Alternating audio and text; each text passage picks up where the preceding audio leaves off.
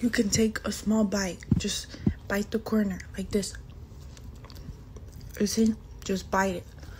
Gentle.